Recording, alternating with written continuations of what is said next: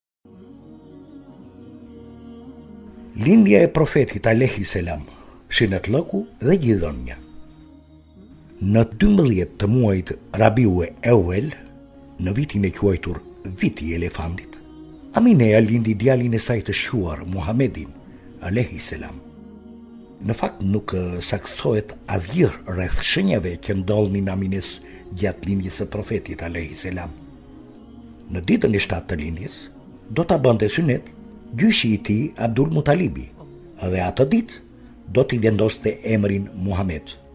Fillimisht do ta ushqente me gji nëna e tij, por vetëm 3 ditë, sepse kishte pak qumësht dhe më pas gjidhënëse e tij do të bëhej Thuejbe, skllavja e Ebu Lehebit, nga qumështi i djalit të saj Mesruhut.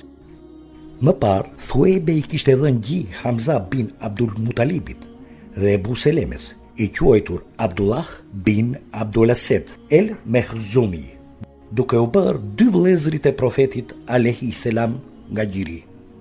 Pas Thuejbes, gji profetit alejhi selam, i dha Halime es Sadije.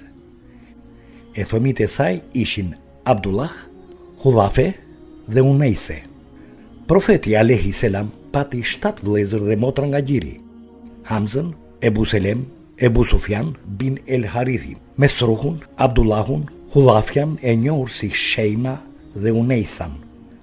Ai nuk pati vëllezër e motra as nga babai dhe as nga nëna e tij.